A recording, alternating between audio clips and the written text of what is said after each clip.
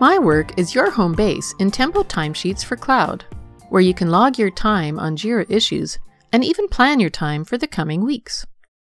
In this video, we're going to cover how to plan your time. This can be time that will be spent working on a project, in meetings, on vacation, or other types of time off. You can plan your own time in Tempo timesheets, but if you want to plan time for other resources, such as your team members, you need to do that in Tempo Planner.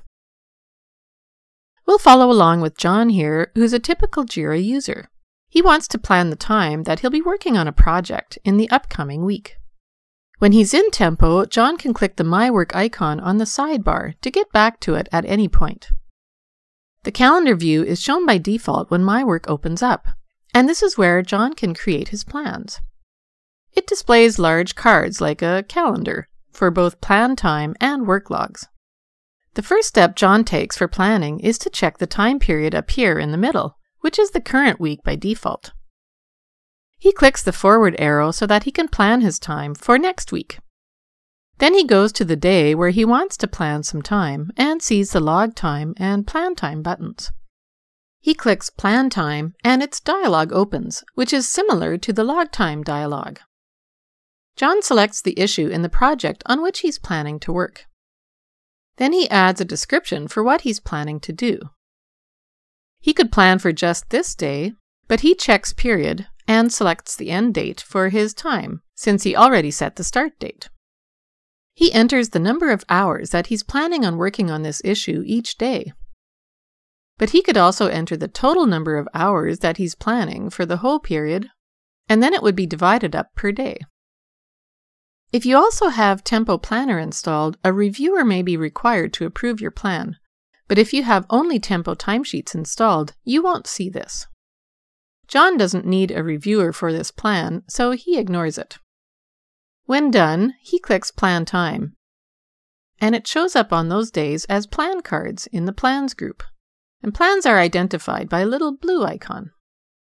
John realizes that he made a mistake on the plan dates, so he drags the plan from one day to another. He could also copy a plan by pressing the Option or Command keys on a Mac, or the Control or Alt keys on Windows, and then dragging the copy to another day.